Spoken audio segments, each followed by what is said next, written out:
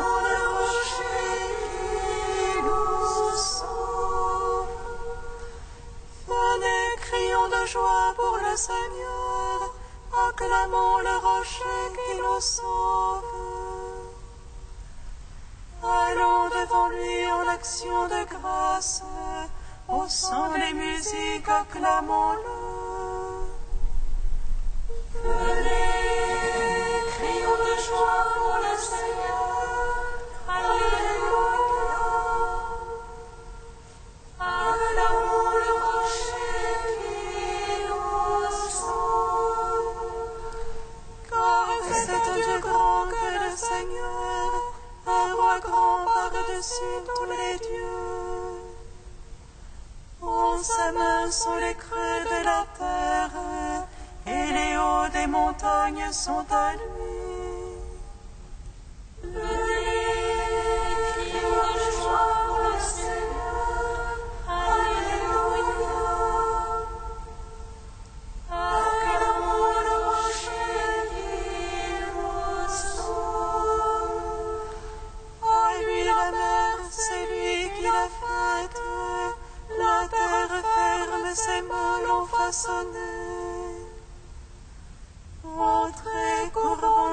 prosternons-nous à genoux devant le Dieu qui nous a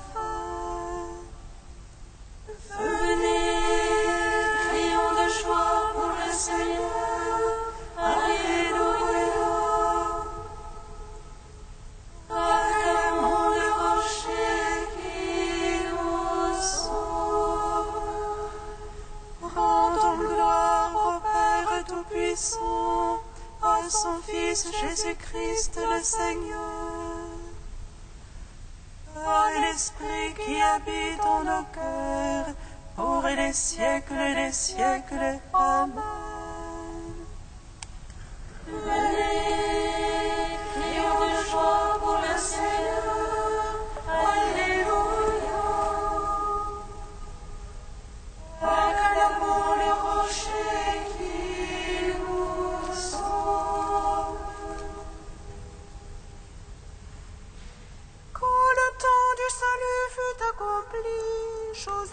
fils de David de la tribu de Juda,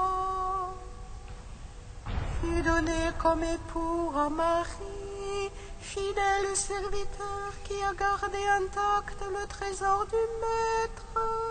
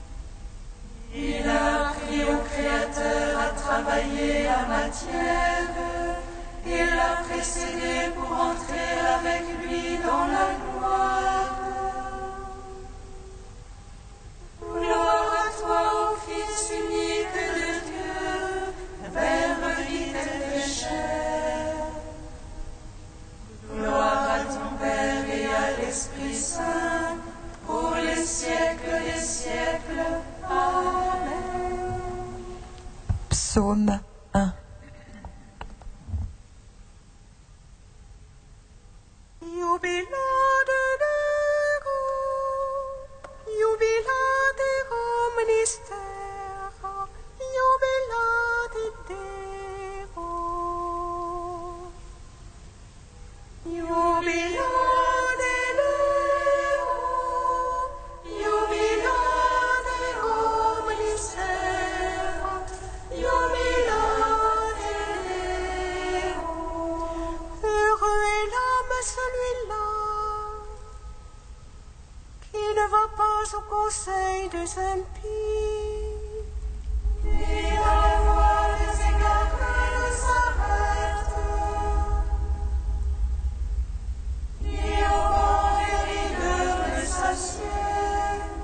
mais se plaît dans la loi du Seigneur. Mais murmure sa loi jour et nuit. il est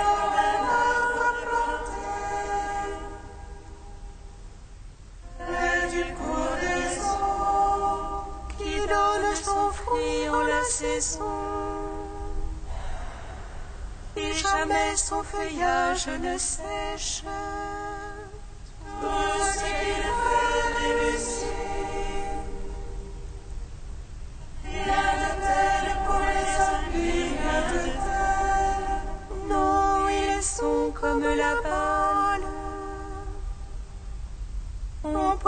Par le vent de sur la terre.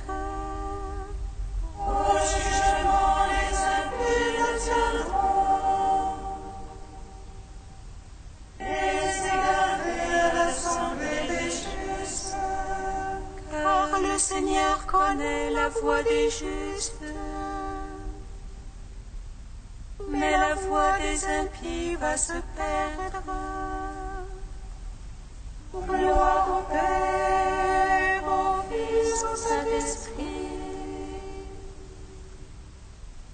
Pour les siècles des siècles.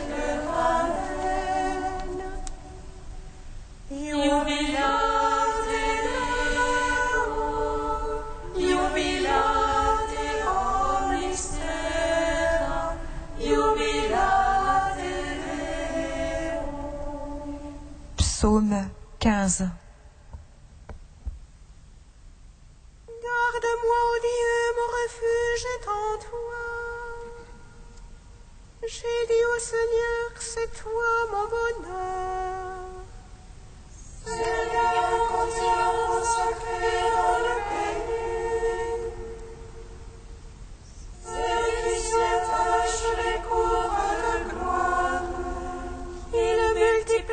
idoles, ils courent après. Jamais je ne mettrai leur nom sur mes lèvres.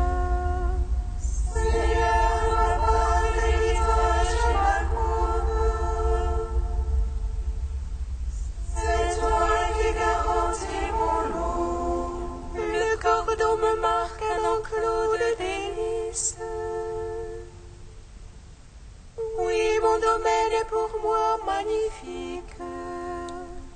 Je prie le Seigneur qui se fait mon conseil. Oui, la nuit, mon cœur m'avertit. Je garde le Seigneur devant moi sans relâche. Puisqu'il est à ma droite, je ne puis chanceler. Aussi mon cœur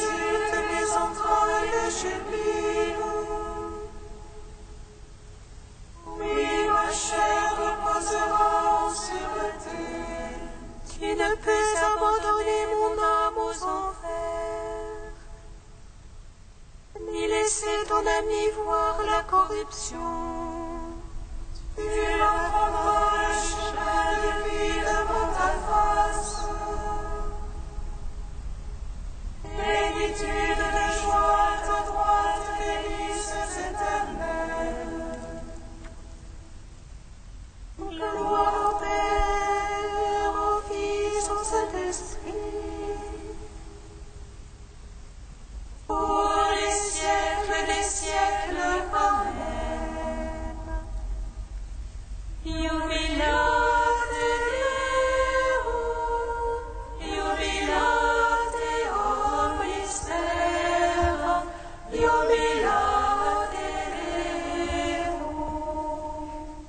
Psaume 95.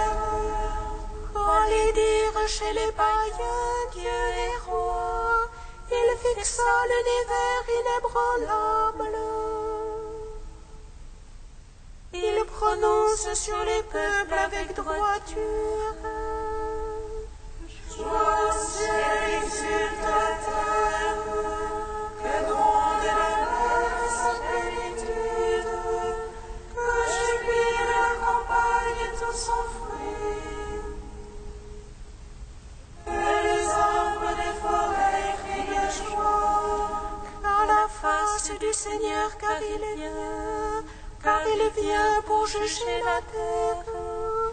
Il jugera le monde en justice. Et les peuples selon sa vérité. Gloire au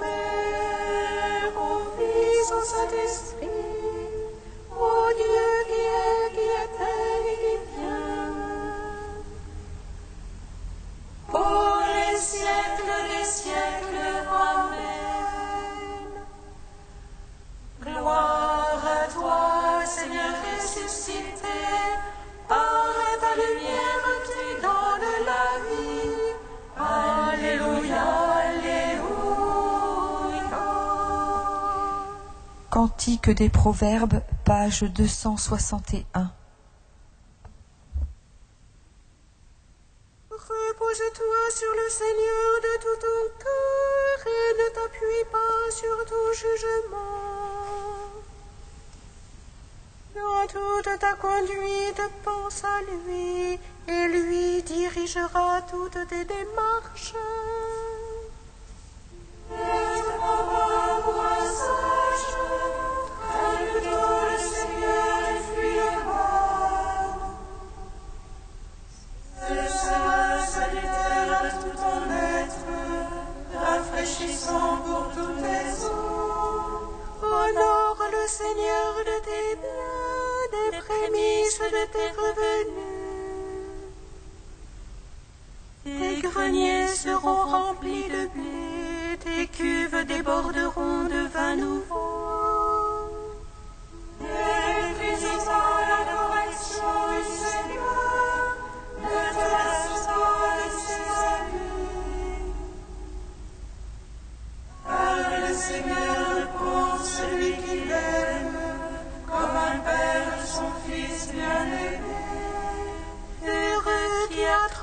la sagesse, acquis l'intelligence. Elle vaut mieux que l'argent, elle est plus désirable que l'or.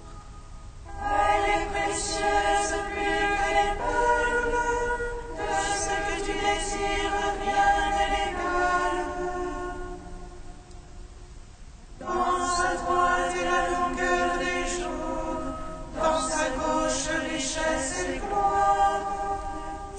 chemins sont fois de délices et ses sentiers sont paisibles. L'arbre de vie, c'est la sagesse pour qui la tient, bienheureux celui qui la possède. Rendons gloire au Père tout-puissant, à son Fils Jésus-Christ le Seigneur à l'Esprit qui habite en nos cœurs, pour les siècles des siècles. Amen.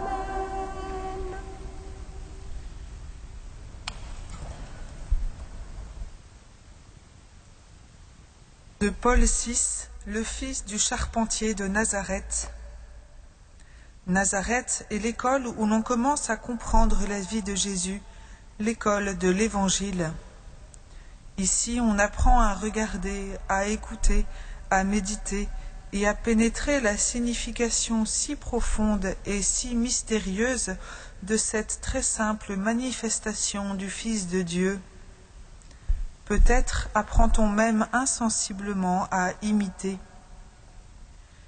Ici, on apprend la méthode qui nous permettra de comprendre qui est le Christ.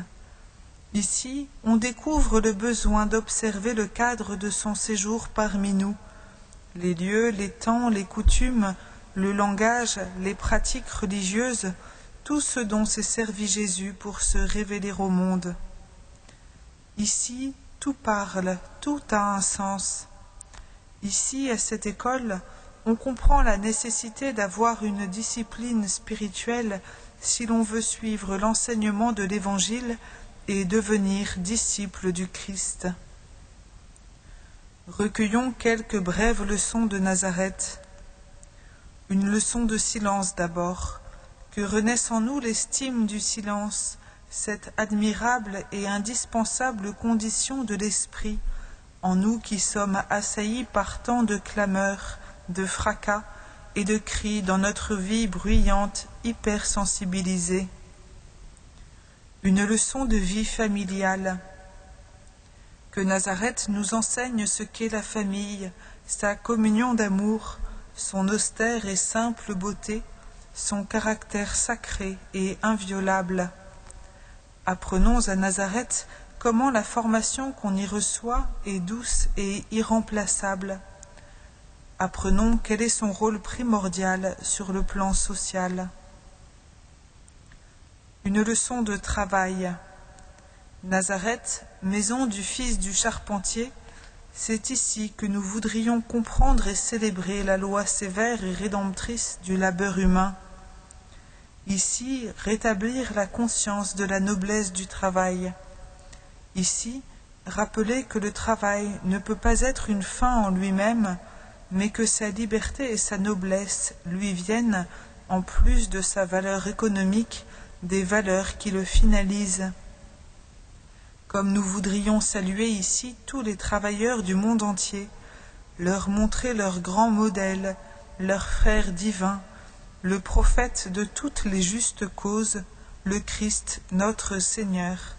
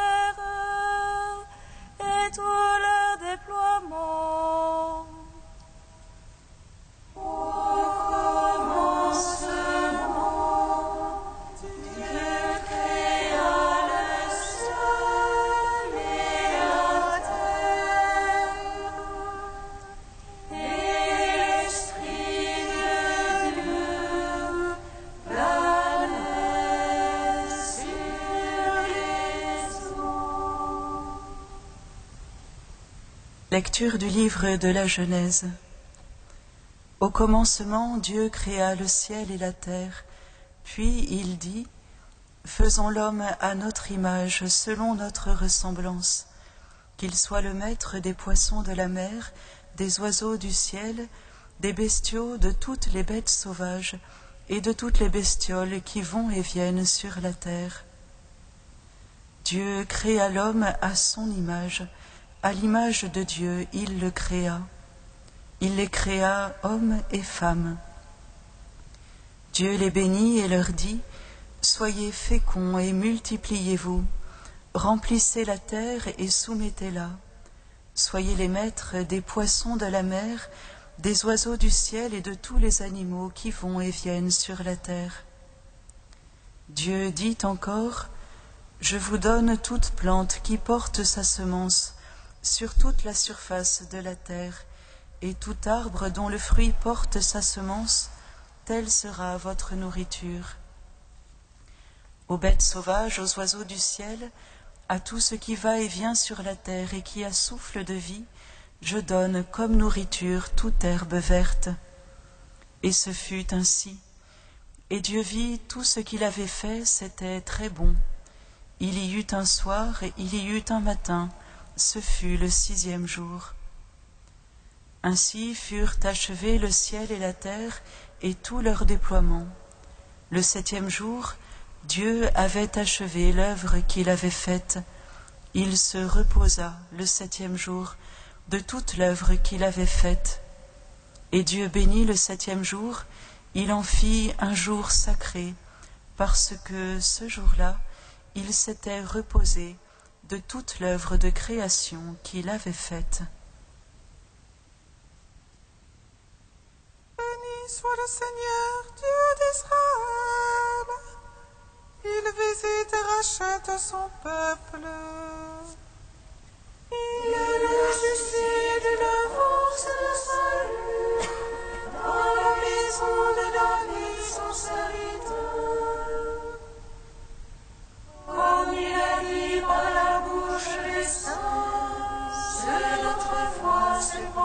prophètes.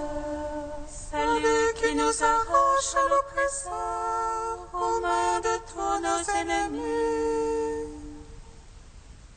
Amour qu'il scellait avec nos pères, et souvenir de son alliance sainte.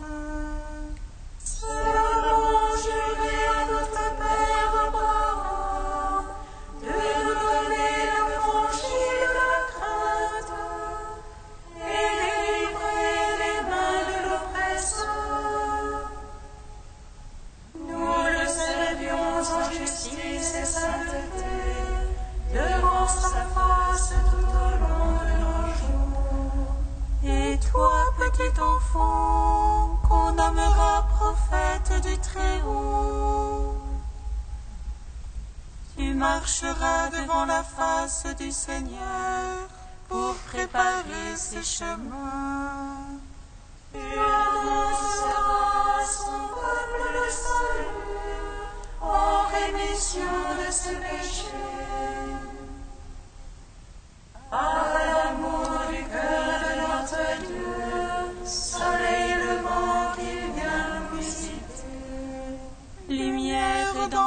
sur ceux de la ténèbre qui gisent dans l'ombre de la mort. Et guide pour nos pas au chemin de la paix. Rendons gloire au Père Tout-Puissant, à son Fils Jésus-Christ le Seigneur, à l'Esprit qui habite en nos cœurs, siècles des siècles. Amen.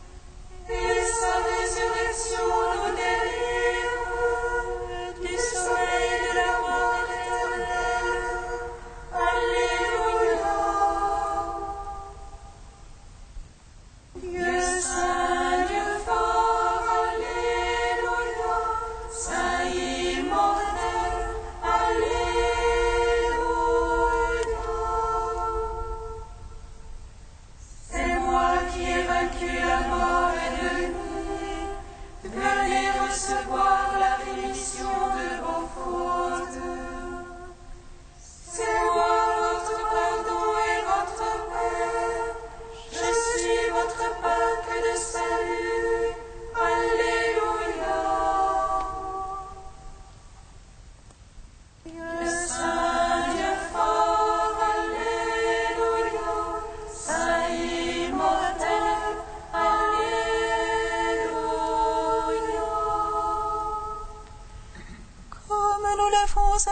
Du Sauveur, et selon son commandement, nous osons dire.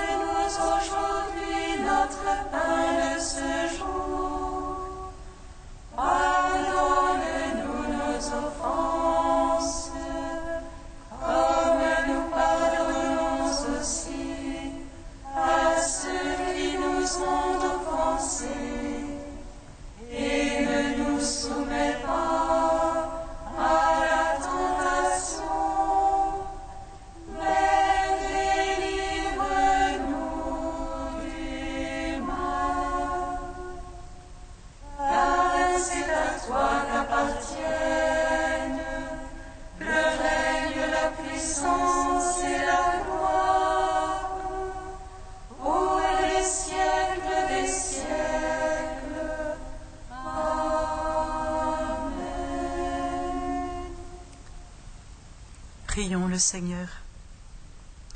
Dieu, créateur de l'univers, tu veux que l'homme, par son travail, te rende gloire en continuant ton œuvre. Permets en ta bonté qu'à l'exemple de Saint Joseph et sous sa protection, nous accomplissions les tâches que tu nous donnes et recevions la joie promise aux bons serviteurs. Par Jésus-Christ, ton Fils unique, notre Seigneur et notre Dieu, qui règne avec toi et le Saint-Esprit, maintenant et pour les siècles des siècles. Amen. Bénissons le Seigneur.